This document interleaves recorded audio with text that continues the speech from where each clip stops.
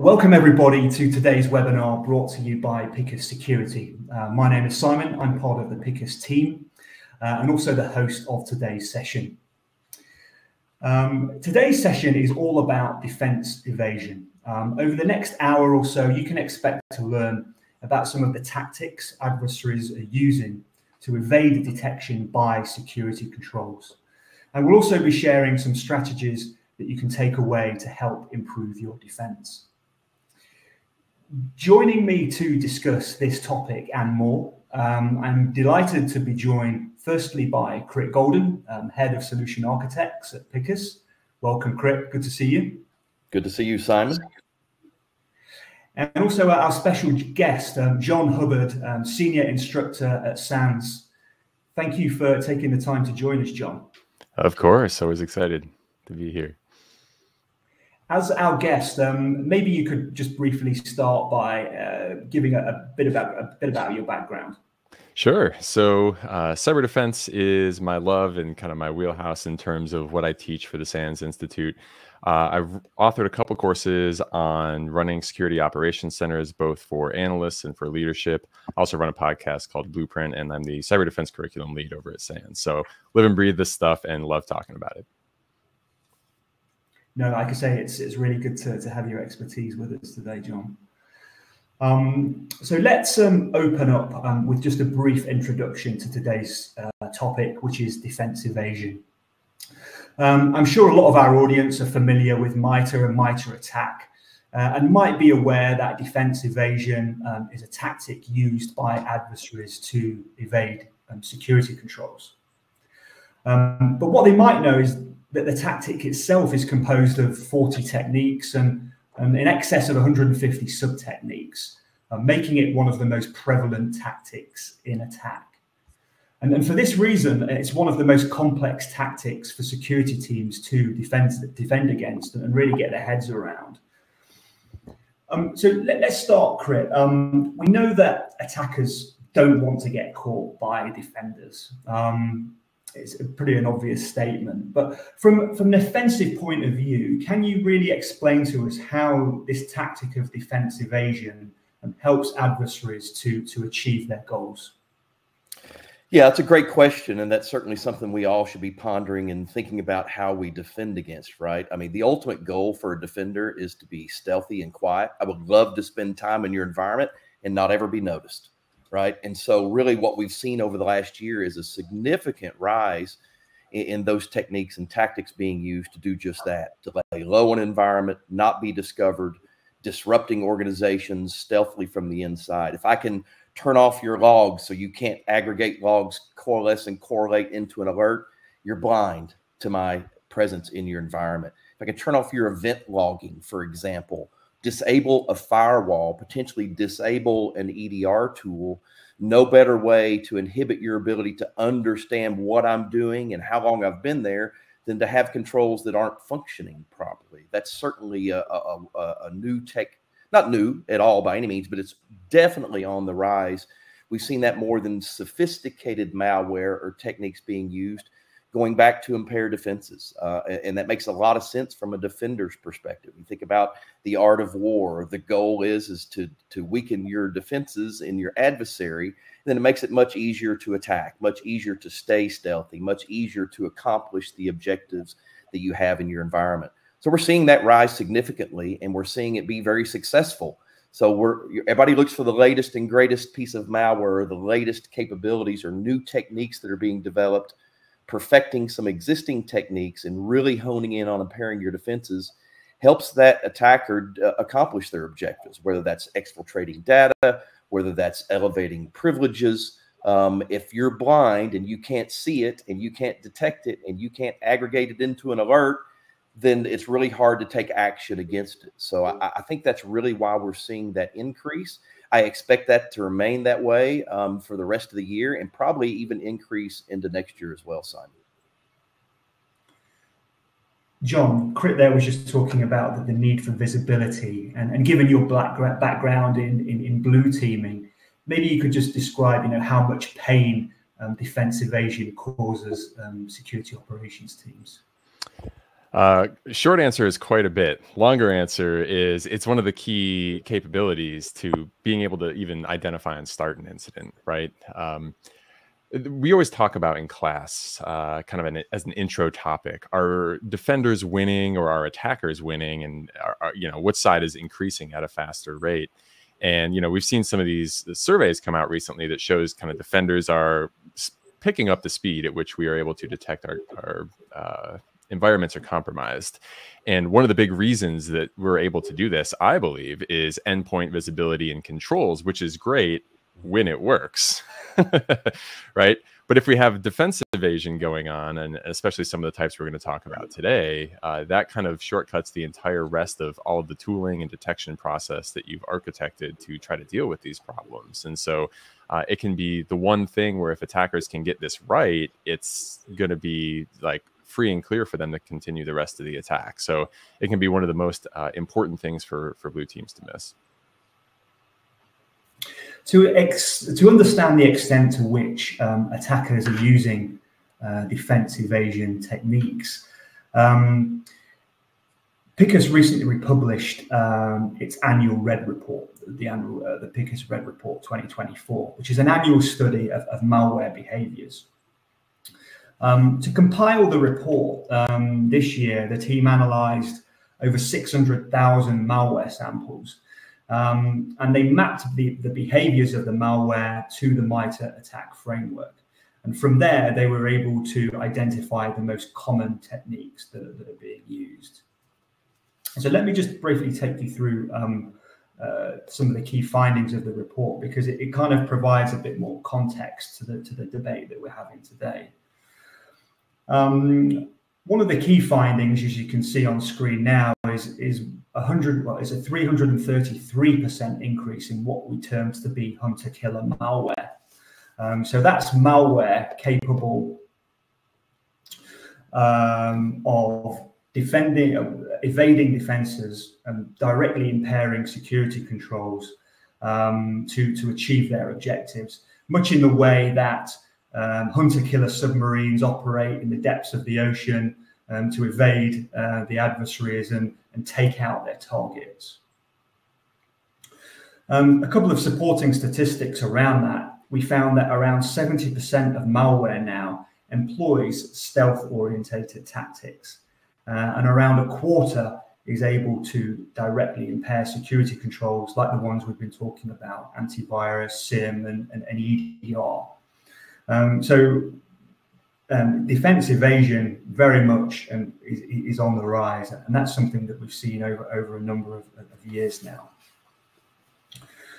Um, but based on the findings of the Red Report, um, perhaps you could just take a, a, moment or two just to take us through some of the, the most common um, attack um, techniques that, that, that, we've, that we've been seeing. Love to do that. And, and, really, that's a staggering number when you think about it. 25% of all malware today has stealth technology, has stealth capabilities. Um, that's a significant increase. What does that alone tell us? Kind of back to what I was saying earlier um, new techniques, new sophisticated techniques, or perfect techniques that actually pay dividends for the attacker. And that's really what we're seeing. They're doubling down on impairing defenses, right? Um, if I can, for example, disable or modify your tools, then I'm keeping you from having the proper detection and malware uh, um, detection capabilities to actually feed a SIEM or feed a console or feed a dashboard for alerting for human activity. We see quite a few techniques that you see on the screen. The one that really, in my mind, is staggering and concerning is is uh, T1562 impaired defenses. Um, we're seeing a significant increase in those techni- techniques, capabilities, and we're seeing them be successful. Um, if I can, for example, disable Windows event logging, that significantly neuters what the SOC and SIEM team, team can potentially see and, vi- and have visibility into. If I can impair your command history logging, more importantly, modify or disable a firewall, uh, that's a sub technique of impaired defenses disable or modify EDR tools, another sub technique of defensive tools. Think about the, the consequences of that particular activity. Um, we often ask our security controls and security teams Do we have any activity, recent activity based on alerts, based on activity? If I don't have that visibility, if I'm not correlating logs, if I don't have an actionable alert that shows, what are we thinking in the organization? Uh, we're, we're doing pretty good. Things are okay. That's exactly where the attacker wants you to be. Understanding how they're impairing your defenses, how they're blocking logs, how they're blocking indicators, how they're modifying cloud logs. I could go down the list for the sub techniques for impair uh, defenses, it's really critical when you think about it. So ultimately, we need to be aware of these techniques. Um, we need to be aware that they're on the rise, what groups are using them. And then, more importantly, how do we stress test and, and, and ensure that that is not happening in our environment? Having a way to test our environment and really put it uh, uh um, put a stress test to it so we understand that it's functioning properly, logs are flowing as they should, and we're aggregating them into alerts that a human can do something with. Out of all of the techniques that you see on the screen, that's the one that probably has me the most concerned. Uh, um, obviously, credential dumping is always a concern, but if I can impair your defenses in any way, slow you down in any way to respond, maybe inhibit you completely from responding, I'm winning. To John's point earlier, the defender's winning or the attacker's winning if attackers can successfully impair your defenses using those techniques, that's something certainly we need to be extremely concerned about and need to be on the lookout for. And and that is uh, something that I know SOC teams are interested and concerned in. I know blue teams are also interested and concerned in in latest conversations with clients. John, how um, difficult or easy is it to to actually detect some of these techniques like impaired defenses? like process injection that are designed really to live off the land um, and hide in legitimate system processes? It very much depends on the maturity of the SOC team. Um, you know, when I teach, I see students from organizations all over the spectrum. Certainly, some organizations can pull this off, but it takes a, a pretty high level of maturity.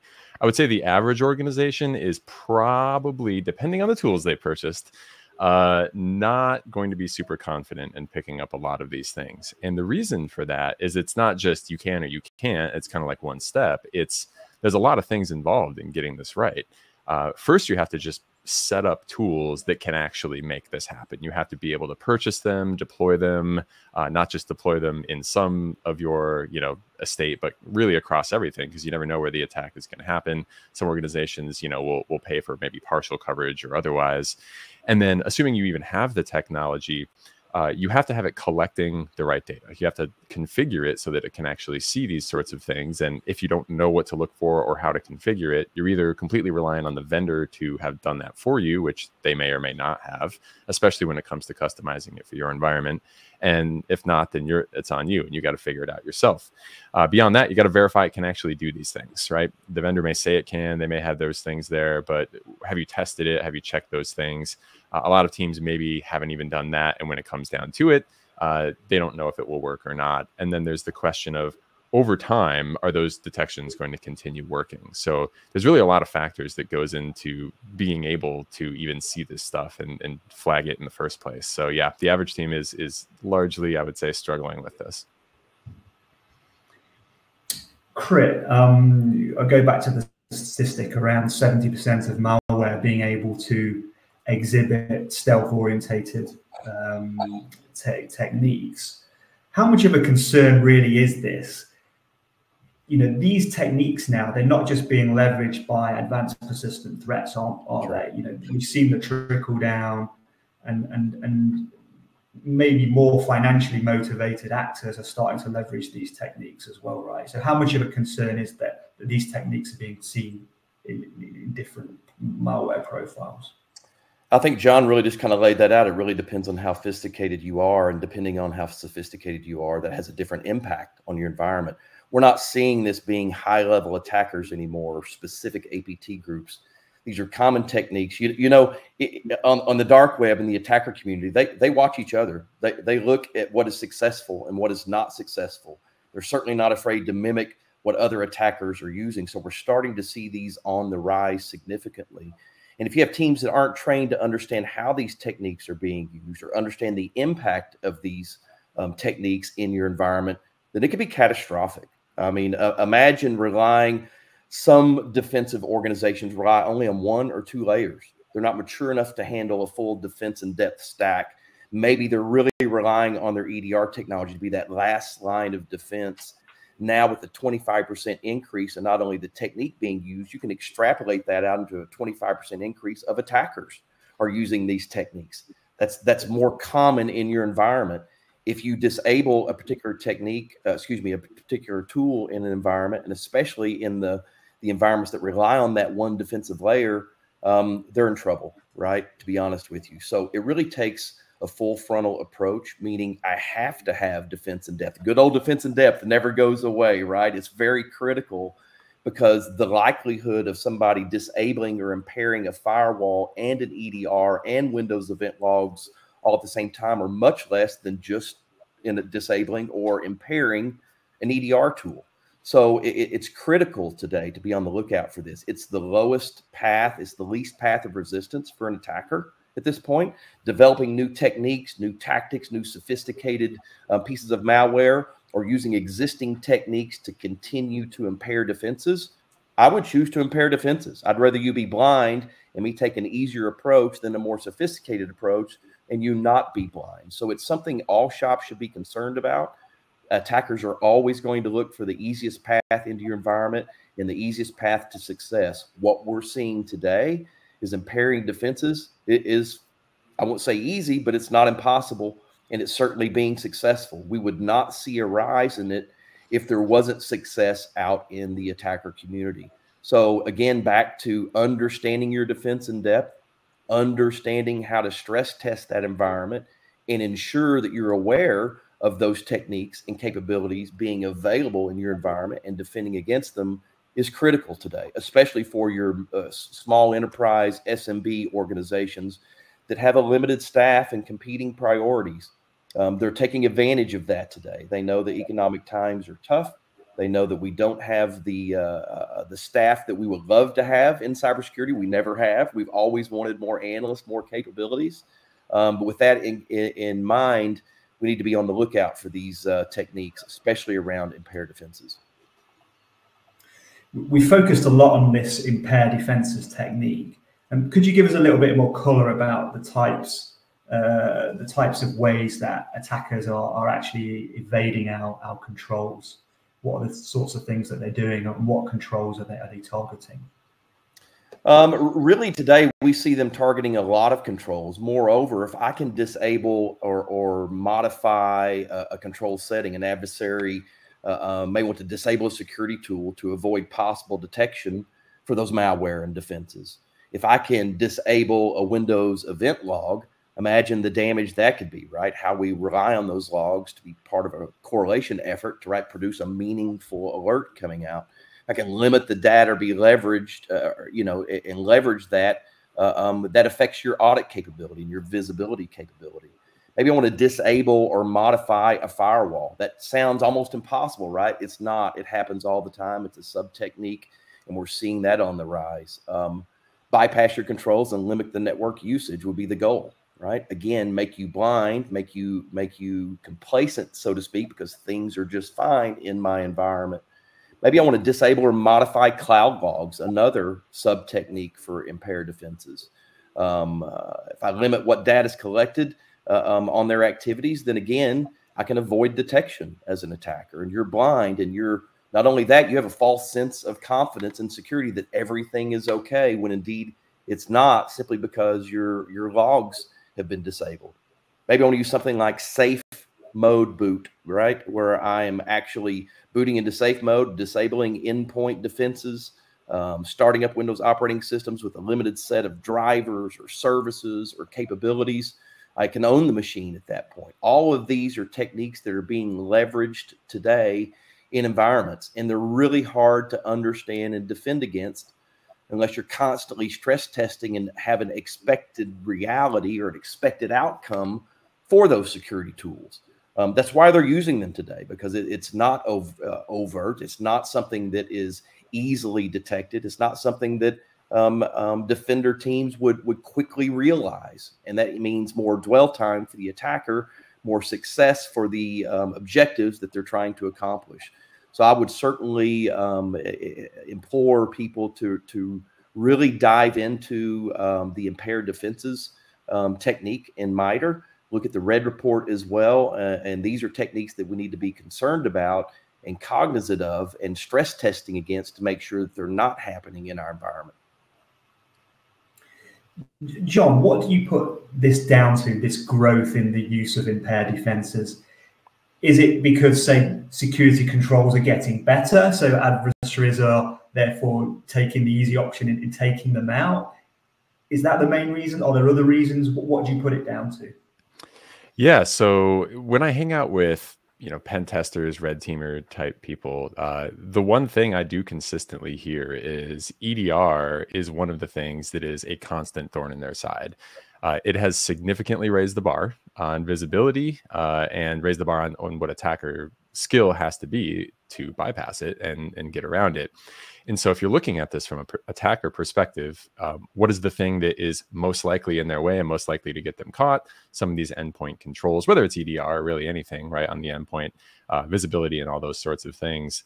And so, for them, it's going to be the best bang for the buck, right? If, right. if they can figure out how to get around those things, uh, it's just a simple case of prioritization. The tactics exist. Uh, the commands sometimes are, you know, built into the operating system to try to weave around these things and get things done maybe without malware.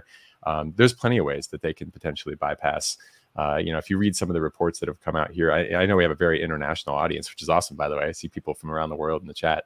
Uh, there was a report that came out from the U.S. government about the Volt Typhoon attacks recently, mm-hmm. and a lot of those were all about you know avoiding endpoint controls. And the way that they were doing some of that was living off the land, modifying you know the, the defensive capabilities that were there, and also using legitimate accounts. And all of these things just make it much more difficult for us to see them, and ensures that they can at least get to that next stage of their attack. So you know short story, I think it's a simple case of prioritization for them. They have to focus there because it's their biggest pain point, and it's going to be probably one of the most effective things they can do right now to be able to continue and not get caught.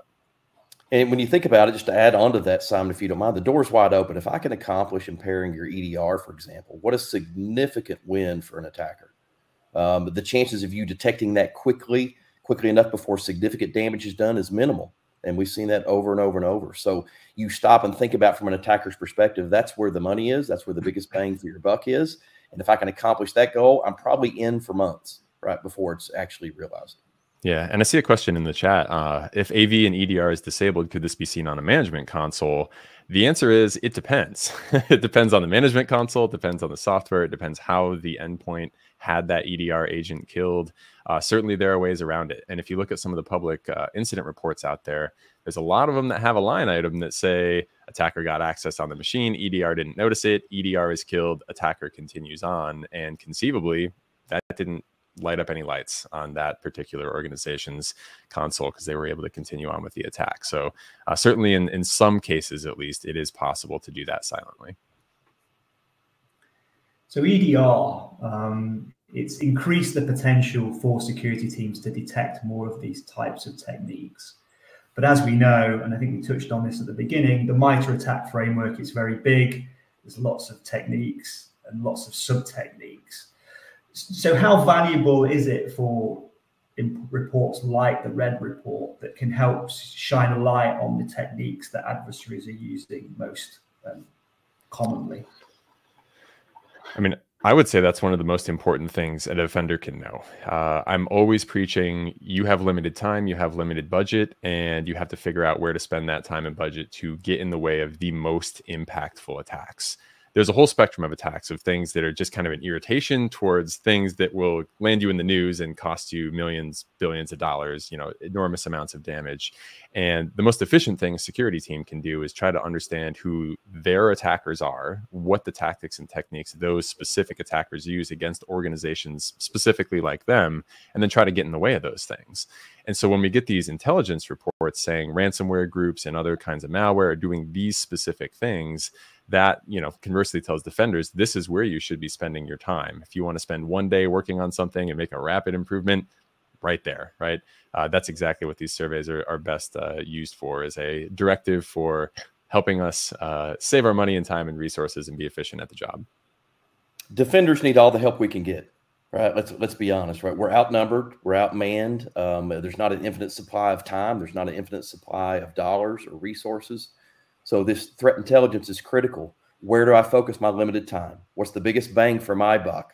What can I ensure that if I have correct, I'm minimizing my exposure level, right? I'm minimizing the risk associated to that exposure.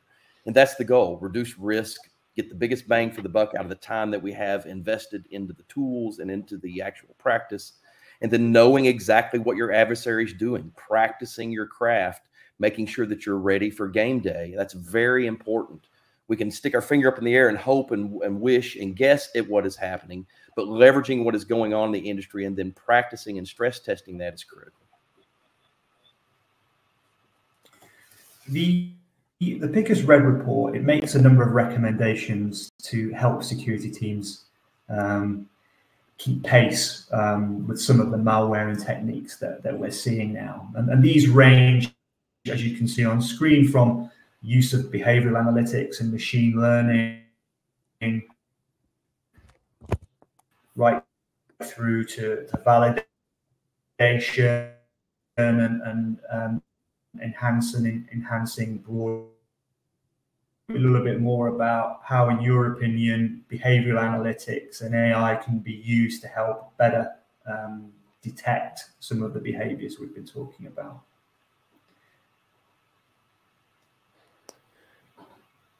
Simon, I'm sorry you broke up a little bit. Was that for John or for myself, sir? Oh yeah, um, for for John, please. Do you want me to repeat the question? Oh yeah, sorry, it was breaking up for me as well. No, yeah. uh, so oh. you know, uh, yeah, sure. Go go ahead and repeat it because maybe the audience missed it as well. Yeah, sorry. I was just focusing on, on the first recommendation around the use of behavioral analytics and, and machine learning. And I was just interested to hear from you um, how valuable um, you think this is to be able to help detect some of the techniques that we've been talking about. Yeah, uh, great question. So, this is one of those things that I think fits in very well in the realm of threat hunting uh, there's kind of two different modes of detection, right? There's reactive detection and then there's kind of proactive detection. Reactive detection being those pre existing analytics and rules and things that you know. If I see this hash, if I see this domain name, that stuff is absolutely bad. But there's a lot of things, zero days and the like, that we don't know what it looks like. And so the only evidence we might see is that maybe there's a single machine or a single user that's doing something that they've never done before or contacted a machine on the network that it's never contacted before. And maybe you will catch that by doing some manual log review with threat hunting. And a lot of times we can do that. And that's awesome. And every SOC should try to do that. But when we can bolster the ability to look at that kind of data at scale with something like machine uh, learning and AI and these advanced kind of behavioral analytics that can look at maybe hundreds of thousands of machines and say, these are the anomalies you should be paying attention to. Uh, I think that's where the most important kind of use of this comes in is uh, using it to detect uh, anomalies that you can qualify as likely attacks that you did not have a pre-existing signature for. So yeah, very, very, very important stuff. Crit, um, it's probably fair to say that SOC teams are probably using more types of security controls than ever and, lever- and starting to, to leverage a lot of these behavioral analytics tools. But we know that it's not just a question of having the right controls in place, is it? it it's about how you use them and how you get the best out of them. Absolutely correct. Uh, I mean, uh, it's about tuning of your tools, understanding that log flow, understanding the parsing, coalescing, correlating into a meaningful alert coming out of a SIEM. You know, that's not easy. Uh, uh I used to have a T-shirt that said "Security is hard." Well, it is hard. There's a, it's complex. There's a lot that goes into it. How do I know it's all working correctly? I, I may have had it engineered that way day one, but how am I constantly checking that? Right? How do I know, for example, that logs are making it from my endpoint to my SIEM, that, that, that they're being coalesced and correlated meaningfully, and a, an alert that comes out is actually actionable. It's meaningful, it's timely, it's relevant. Um, these are critical uh, um, issues because we have to do almost everything correct on the defender side. It's the age old story we've heard, right? We have to be right every time. They only have to be right one time the idea is keeping up with my tools and how they're tuned and how they're architected and ensuring that they're working as expected. Because one anomaly, we've just been talking about impaired defenses, one anomaly, one kink in that chain, we have a problem from a defender's perspective. We may not have the right visibility at the right time we need. We may miss persistence in our environment. We may miss credential uh, a privileged escalation. So that, that's critical that we understand how they're architected. And, and validation really plays a key part in that practicing your craft, understanding how your tools work and respond on a normal basis, and then understanding those anomalies when they're not uh, um, reporting or responding correctly. So it's about being close to the technology, understanding how it's configured, and then challenging it on an ongoing basis. So I know when there's a, an environmental drift. I know when there's a shift from a known state to an unknown state. And that's really one of the major problems we have today in cybersecurity is understanding when and if that change happens in our environment. John, um, perhaps you could take a moment to talk to us about some of the challenges organizations face keeping security controls optimized. We know that prevention and detection engineering tend to come up quite a lot when we talk with our customers. It's it's definitely a pain point. Yeah. Uh, a couple different problems, really. Um, the I think baseline issue for a lot of SOC teams is a solid source of threat intelligence, like telling them what to look out for in the first place. Right. Uh, having a threat intelligence platform that helps them organize the things they're actually seeing. Uh, so I I teach about threat intelligence platforms and how should they work into a, a SOC in, in terms of process. And at one point in class, I every time I teach, I say, raise your hand if you have a dedicated threat intelligence platform of some sort. And I would say it's about 50 50, which tells me a lot of teams are simply just collecting a bunch of indicators and maybe can't even connect mm-hmm. the dots on this is a group maybe I've seen before because it's just a bunch of independent seeming events across time, let alone someone pointing out like these are the ones that you should prioritize and pay attention to. So one of the issues is just where do I focus my time? Then from there, uh, I think another problem is having the expertise to be able to do it. Uh, detection engineering is certainly not easy. There's a lot of different languages that you might need to write um, detections for, whether you're writing snort alerts or Yara signatures or KQL searches in Azure Sentinel, right? There's syntax after syntax after syntax. And it's difficult to be kind of a, a master in all of those things. So getting the right person, or at least one person for each of those, can be another challenge and then just fitting it into the schedule, right? There's always a fire in the SOC, right? Uh, you can constantly be sucked into a whirlwind of activity somewhere. And detection engineering, unless it's a very dire situation, is usually one of those things where it's like, I have an idea for a great rule to write. I'm going to put it somewhere. I intend to write it, but maybe never get back around to it unless it's something that's really uh, high importance right from the start. And so just creating some kind of system for a backlog for rule writing, uh, if people don't have that, they may forget those ideas and then the rule never gets written. So there's a whole lot of things that can uh, can get in the way. And then, you know, again, just having the technology to write the, the rules you need to have. Uh, there's a lot of different things that could potentially be an issue there. Crit, John was talking there about threat intelligence. Um, threat intelligence and actionable threat intelligence are, are different things, aren't they? Totally two totally different things. I mean, I can take threat intelligence all day long. When you think about the nature of threat intelligence, typically it's very reactive. sits in my EDR, sits in my SIEM. Maybe I'm just consuming it and reading it.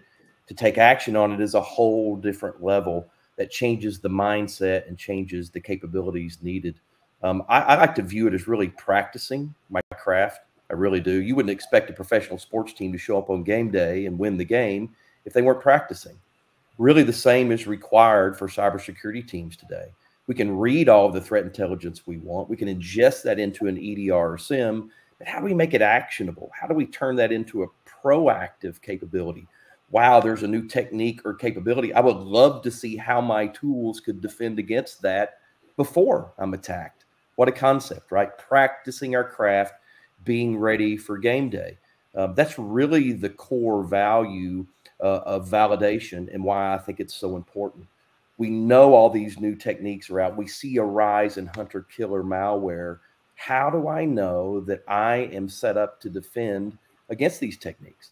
That I have the right tools in place, that they're tuned appropriately. John just alluded to the fact that detection engineering alone is complex.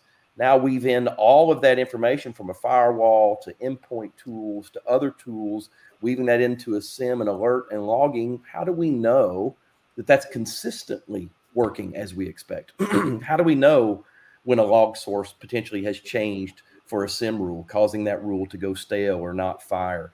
All of these things are complicated. Back to we have to be right almost every time, and not only correct, we have to ensure that what we've architected continually is maintained and is working as expected. And then, more importantly, we can tune that against new techniques, new pieces of malware, new attacker groups. Threat intelligence is critical to that because I don't have much time. I don't have unlimited resources like the attacker.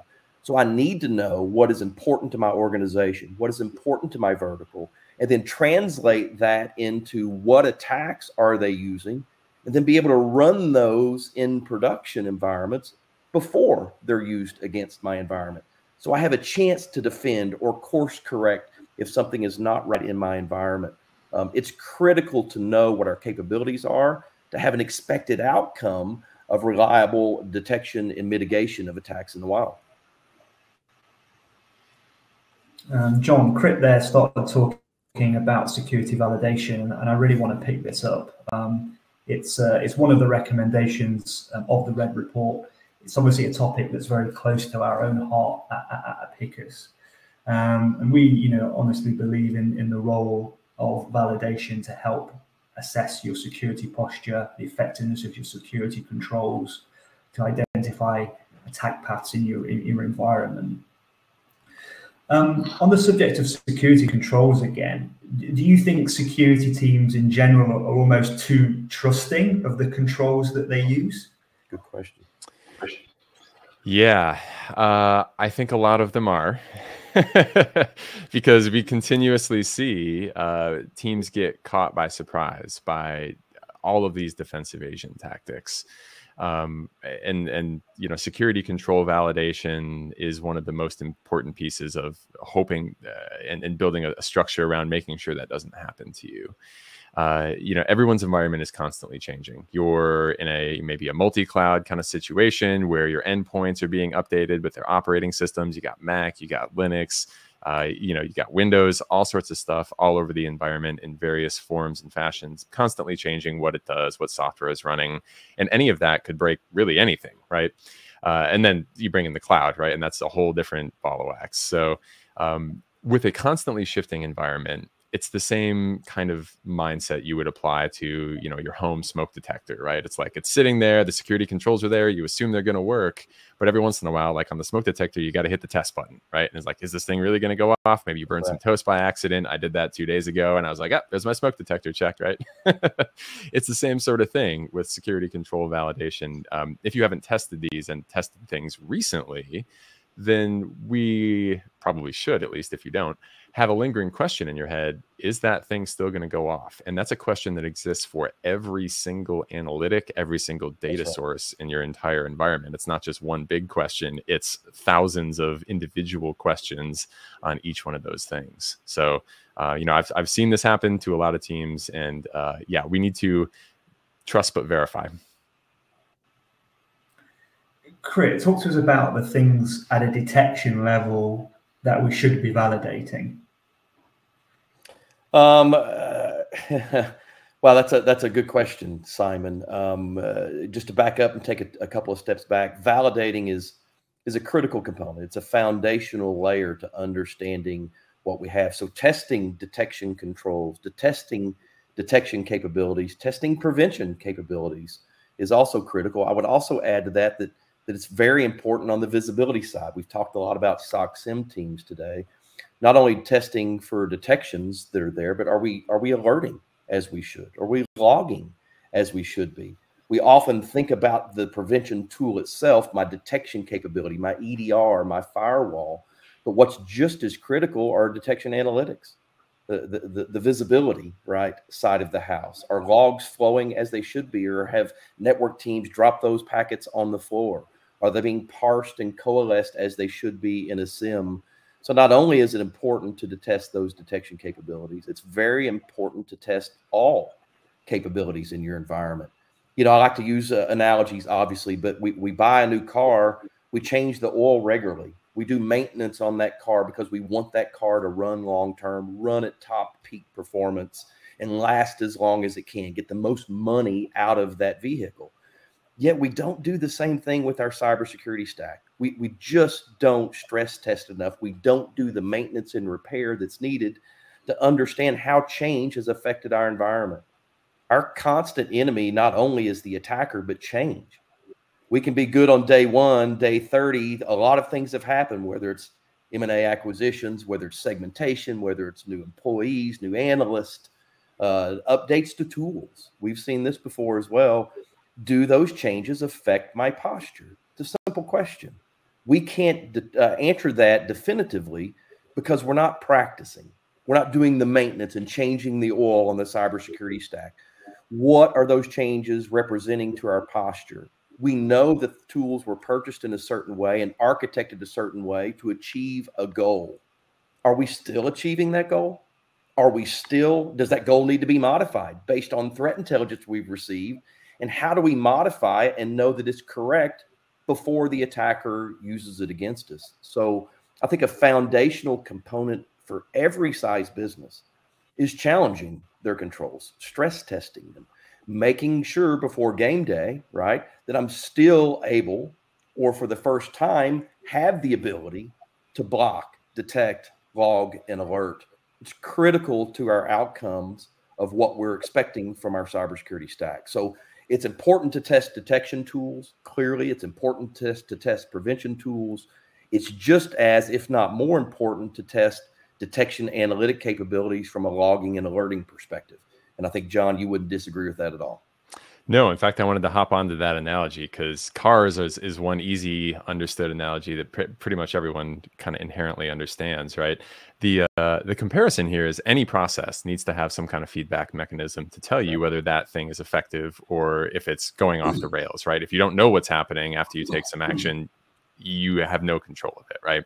So if you think about a car, right, the car's dashboard is telling you, is everything still okay in this car right now? Is the engine overheating? Are you running out of gas? There's all these signals that are updated second by second to tell you whether you're in good operating condition or not. In security controls, a lot of teams install it and they're effectively driving the car without a dashboard, right? And you're saying like well i hope it's working right now but you have That's no right. feedback unless you're doing that validation right? And it sounds insane right? You would never drive a car without a dashboard because you right. never know what's happening under the hood. The car might catch fire any moment right? Might run out of gas. And so it's the same thing right? Any uh, that principle applies whether it's driving cars making a security team that needs to know what's happening on the network and with its tools.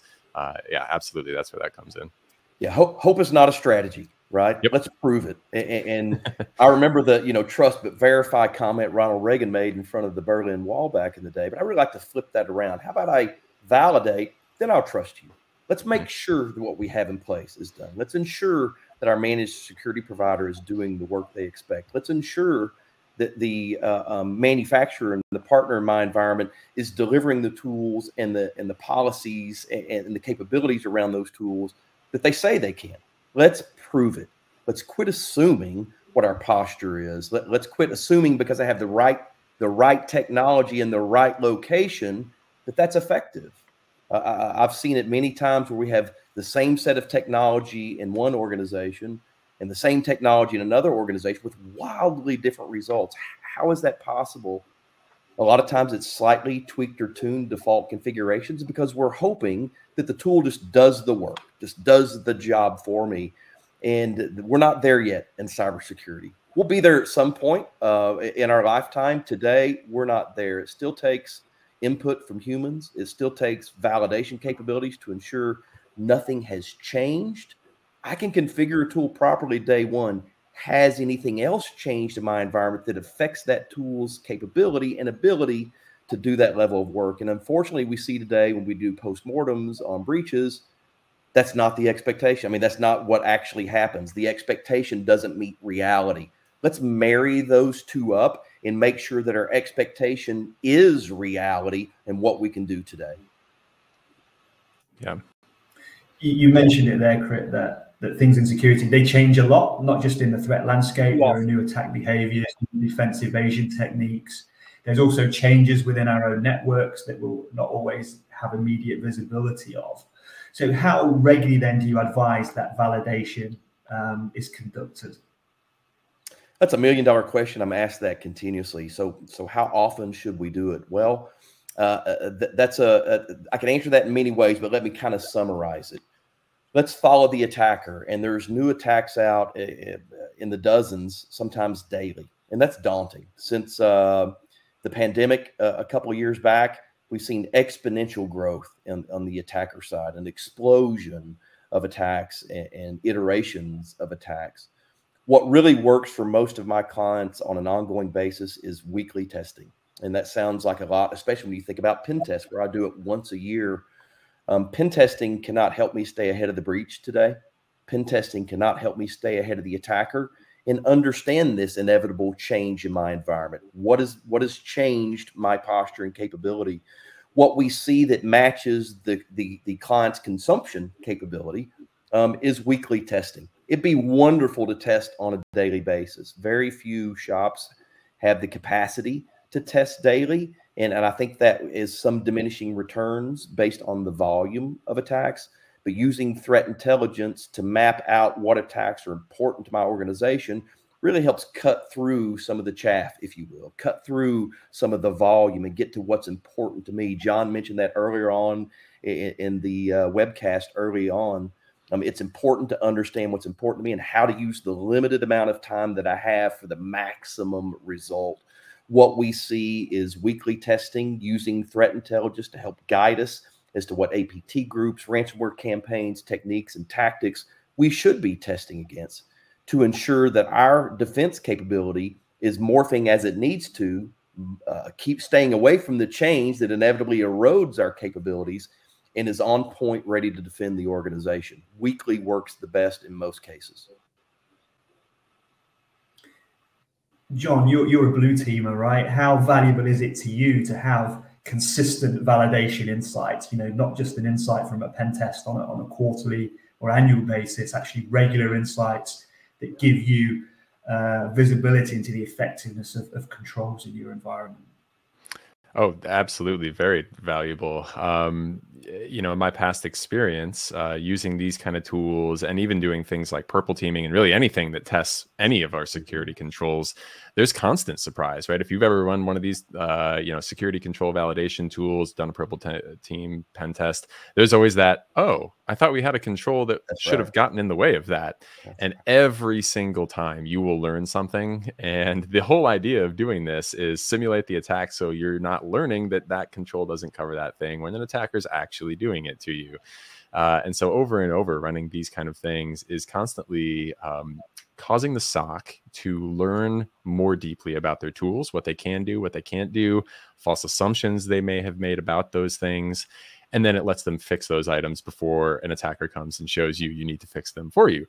And uh, the other thing about that is, you know, just on the flip side of this, communicating kind of upward hey, as a SOC, we are getting better. And here are the kinds of things we're finding and the type of work we're putting in to make sure this organization is more safe is another really important piece of this as well. Uh, just aside from the whole, it actually makes defense better, it's something you can tell upper management and show, like, hey, we are improving here. Here are the things we've actually done. And these are why these matter to the business and help us catch things more quickly. So, yeah, valuable across the board. Yeah, you think about that, uh, Simon. That's it's practical real time wargaming right? How are my tools working? We often talk about tools in the security stack, but it's just as critical to test people and process. It's a three legged stool. I cannot operate my cybersecurity stack and defend my organization without all three pieces being in place.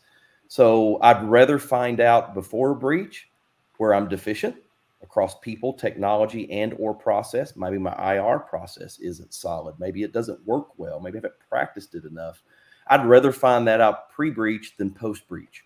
That's often the bad time to find out, right? When you stop and think about it. So, so practicing is critical. And that's really what we're talking about from a people and process perspective and your technology.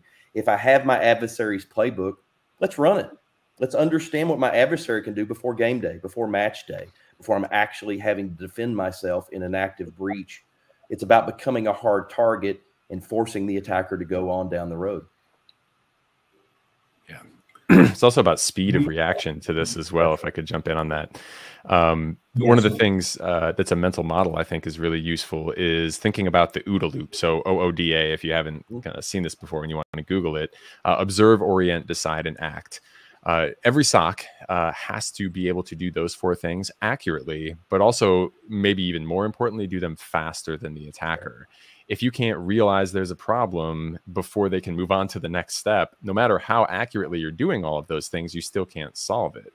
So that practice is not only about will it work, but it's how quickly can you react and really, um, you know, it's it, using more fire analogies, right? It's like a fire drill. Like, are you going to know what to do when the time comes? Do you know what door to exit? Do you know what incident response playbook and protocol and procedure and all this kind of stuff you're going to be running uh, when these things actually happen to you? Um, you know those are speed is just as important as as the capability here. It's been a great conversation so far gents. Um, i'm conscious that there's a little bit over eight minutes before before we have to finish. So at this point i just want to invite the audience to to ask any q ask any questions um, to, to to crit and john. Um, feel free to, to type those into the q&a and um, i'll go through those in in a moment um, before we do that, there's just one final question that I want to, to pose to you, Crit. Um, a lot of the time, we find that organizations are almost a little bit scared to, to validate more regularly um, because they're not sure what it was would will find. They, they're worried that it's only going to throw them up more problems than they, than they already have. Um, so, how does validation actually not just identify problems but help security teams to better better address them?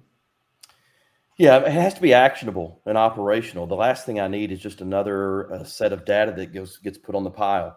It's not actionable that I can't actually do something with because I don't have the resources that I need. Validation is critical to that, especially with Picus, because our goal is to move you to the answer. Not only let you test and understand what the deficiency may be, not only that, what what your strengths may be. Let's not underestimate that. I've, I've seen over the years, just like customers don't know their weaknesses, they don't know their strengths. So build on those strengths, shore up those deficiencies, become a harder target. It, it's important to test not only on a regular basis, but then to actually take action on those results. It's not enough to know that I'm not blocking or detecting or logging or alerting as expected. But how can that validation tool provide me the operational information that I can consume quickly and effectively to turn that around? To shore up that defense, to start alerting, to start defending, blocking, and logging as expected. So I need operational data coming out of a validation platform. I need vendor specific mitigations that quickly, to John's point earlier, it's about speed. Um, I can't have a problem that lingers for a month or two months and expect a, a realistic outcome and, and prevention or increased detection capability from that tool. I need to shore those defenses up when I find a gap and I need to do it quickly. So I need a tool that not only allows me to test quickly and easily in an environment without additional resources, without specific offensive skills in the environment, but I need that platform to feed me information that's operational that I can directly take to a SIEM. I can directly take to a firewall or an EDR tool and change that trajectory, change that capability quickly. Um, instead of flipping over the wall and involving other teams, I need answers to the test. Is what I'm what I'm talking about. So combination of being able to validate on a regular basis, being fed those answers to the test to shore up those gaps, helps me actually practice my craft and become a harder target again before game day, before I'm attacked, before that breach actually happens. That's the key to success not testing alone, because testing can just highlight gaps. What's the answer to that test? How do I shore up that deficiency? How do I course correct uh, um, that particular tool or that lack of ability? A lot of times, customers don't understand the gaps they have in their environment. They think their defense in depth is is pretty solid. They've covered all of the gaps. Many times, we can uncover gaps in their technology stack capability and let them know that they weren't aware of that and how to close that gap, whether it's from specific vendor mitigations or whether it's you need new technology or a technology to begin with. How do we know what our capabilities are unless we test them? Why are we letting the attacker be the one that tests our environment? And then we react because the constant reacting and responding is not proving uh, um, fruitful. It's not pro- providing dividends to the organization. So I want to be offensive on my own. I want to know what my deficiencies are, right? We do it in every other BU in an organization, right? Think of manufacturing. They know exactly what they're producing, what they're not producing, and whether they're meeting their goals or not. Why can't we do the same thing in security today? We can. We can test ourselves in production and have those operational answers to infuse into the technology to course correct and become a harder target. We've got a question from uh, Manuel. I'm going to present it on screen now. Um, yeah, I see a bunch of great questions here. I'm excited to kind of. Yeah. We need another hour to through. questions.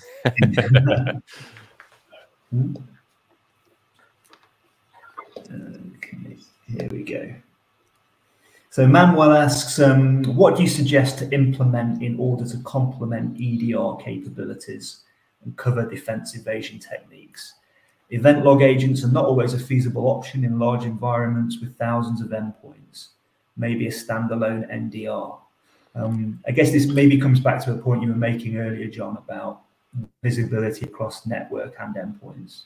Yes, I, I, love talking about this. This actually was the one I was looking at to, to answer first. So great, great selection there and great question. Uh, with endpoint, endpoint visibility is amazing, right? It's it's very detailed. It gives us a really good clue of what's going on when it works. It is a potentially unreliable observer, right? Anything on an endpoint can be turned off by a endpoint that has been compromised. So uh, what are we going to do as a result of that? We need a more steady source of data that we can trust. And yes, network data is going to be an outstanding backup for that sort of thing, not just as an alternative for EDR and endpoints, but for our infrastructure as well. Uh, I just got back from RSA conference. Uh, Crit was there as well. I got to meet him in person last week. That was a lot of fun and I saw a lot of people on stage, keynotes, uh, you know, side talks and presentations, and just conversations I had with people talking about this rise of infrastructure compromise, like your router and your firewall. Good luck installing an EDR on that. How are you going to know if that's compromised, right? Because it's not going to report it necessarily either, uh, especially if it's you know had its logging uh, turned off. So network again, right? Um, people have said, well, oh, everything's encrypted now. I, you know, there's not really any point. I'm going to endpoint uh, there's still a lot of value in looking at your network and understanding like here's the actual packets going across my wires and where they're going on the internet. And without that uh, some of this defense evasion is much easier to do. So yes absolutely uh, ndr and looking for anomalies on network packets and not just assuming all endpoints are going to cover it uh, that's my suggestion there. Simon, I would add to that as well that uh, challenge yourself on a continuous basis against those defense defense evasion techniques understand whether we can block them, detect them, log, and alert against these techniques? Do we have the capacity to see these before they actually happen?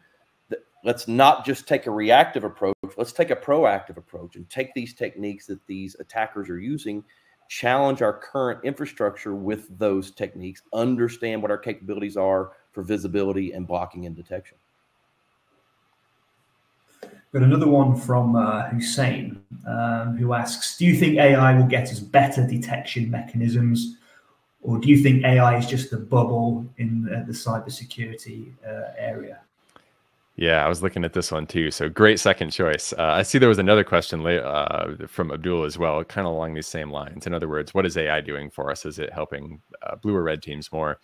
So again, referencing what I saw at RSA and referencing what I've seen from students in the classroom and organizations I've worked with, uh, AI is certainly helping in the realm of both detection and lifting up, uh, especially newer people in the SOC. So you can get into your SIEM and maybe not know how to phrase a search AI. You can use natural language, say, how do I write a Splunk SPL query to find whatever it is I'm looking for? That's great. You can also potentially give it samples of emails, samples of files, and say, "Hey, I need a Yara signature." I've seen, you know, Snort signatures, Yara signatures, and other things uh, in the development of those boosted by AI. Is it going to be perfect every time? No, but does it do ninety percent of the work in a lot of cases? Yeah, it will. Right. Uh, it'll certainly help read email and determine whether it's phishing or not and those kind of things can can be bolstered by that. But on the red side uh, to the other kind of question that was very similar to this yes attackers are raising the bar as well. They can make phishing email now that is very you know well stated grammatically correct convincing phishing email Uh, Steve Sims, actually my, my colleague at SANS, he's the offensive ops curriculum lead. He was doing one of the keynote presentations at RSA and talking about what are red teams actually doing with AI right now and is it outpacing blue teams? And his take was like, well, they're using it to kind of interpret vulnerability reports. They're using it to craft better phishing emails, but we haven't seen a whole lot of effective exploit development with AI yet. So at this point, although it's very early stage, I'm inclined to think blue teams are a little bit ahead of red teams when it comes to this. Uh, obviously, things can change any moment. Uh, we saw the big GPT-4o kind of announcement from OpenAI a couple days ago. You know, all these opportunities are constantly showing up and changing. But right now, I think I'm a little more positive on the blue team aspects of AI than red team. I would agree with John completely. I mean, right now we're seeing AI, just like in our platform, really help analyze, help mitigate, help prioritize information that's really hard to get out in the weeds. It's sometimes difficult to get in and, and find that data that's deep or draw those correlation points. I think AI out of the gate is certainly helping defenders in that arena, understanding the data in front of them, understanding how to prioritize that data, understanding how to mitigate certain situations in a more efficient manner. But let's not kid ourselves, right? AI is certainly going to be helping the attacker moving forward at, a, at, an exponential rate. And to this question, more fundamentally, I definitely don't think it's a bubble. I think it's a momentous shift in what we're seeing, not only in cybersecurity, but in our daily life. Um, AI is going to change a lot. And I personally think for the better. We always look at the negative side. Our human tension, uh, tendons are, are to look at the negative side of things. But AI is going to be a tremendous asset for us on the offensive side when it comes to cybersecurity and on the positive side of life. Um, we're already seeing that make an, a, an immense improvement for our clients, understanding the data, understanding how to mitigate some of these attacks quicker, understanding how to prioritize what's important to me and my organization. So I'm personally very excited about AI and its capabilities for the for the cybersecurity defensive group, um, and that will certainly help us keep pace with the attacker. This will be leveraging AI as well. We've had some great questions, and I'm going to time find time just for just for one more. Um, this one I'm going to share now is from Isatu, who asks, "What role does fileless malware play in circumventing traditional detection methods, and how can SIEM and EDR solutions adapt to effectively detect and mitigate this type of threat?" Um, so yeah, fileless malware, you won't detect that with just a, a standard AV, will you, John? Well, it, again, it's a big. It depends. Uh, traditionally, this was a lot harder for for AV. Um, sometimes it can catch it. Depends on the specific technique used. But you know, in the past, at least, uh, there was the situation in a lot of cases where it was files that hit disk as a written file or the things that get checked by antivirus. And if it was fileless, it never got checked, right? So if it's something that's being loaded directly into memory, which can be done if you have an AV or an EDR solution uh, that can look for the API calls that can inject code into a running process or you know spin off a new thread or child process as something that never actually leverages a file, well maybe it can catch it. But certainly there's multiple ways of doing that as well. And so yeah, once you're getting into the world of fileless malware, it is a great defense evasion tactic for attackers to use because it just reduces the chances that one of these things will catch it. So how do they adapt? Well, they adapt by being a vendor that deeply understands the API calls and the things required to use and launch fileless malware and make sure they can get a dependable hook into the operating system uh, to watch for those sorts of things happening. Uh, how can a SIEM adapt? Well, the SIEM can only get the logs it's receiving, right? So if we have a data source that is capable of watching process by process, maybe what connections are being made and things like that. Certainly, those signals can be collected and sent to your SIEM as long as you have the right detection mechanisms in place.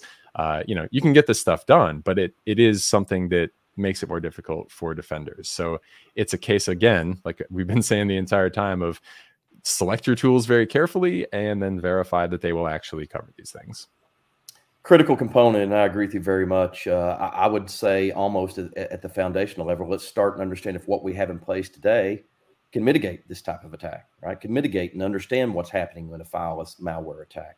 From there, we know exactly what our capabilities are and exactly what direction to head. That's why validation is so critical and so foundational to the decisions we make. We've been trained in cybersecurity to make decisions and go a different direction based on opinions, hunches, what we see and think from our peers, Gartner, go down the list, right? How about starting with what we're actually capable of doing and what we've spent our money on already, and then modifying from there to know exactly what gaps need to be filled, building it as we go. Again, another analogy we never build a house and then come back when we're done retrospectively and have it inspected. We have it inspected as we're building the house. We want to make sure that we're building that home properly. It's on the right foundation. The septic and electrical is done properly, that the walls are being done properly. Why in cybersecurity do we build it and then come back and spot check it? And we find gaps, right? Let's validate as we build. Let's start with what we have today, understanding those gaps knowing what they are to get to a certain state that we need. And then we know each exact step that we need to follow and what tools uh, need to cover what gaps in, in, in our place. So when we build our cybersecurity home, we're inspecting it as we're building it. When it's done, we know it works as it was built. We know the expectations we have are being met. And then all we have to do is consistently challenge on a regular basis to make sure change has not uh, caused an inevitable security drift or environmental drift in our known posture.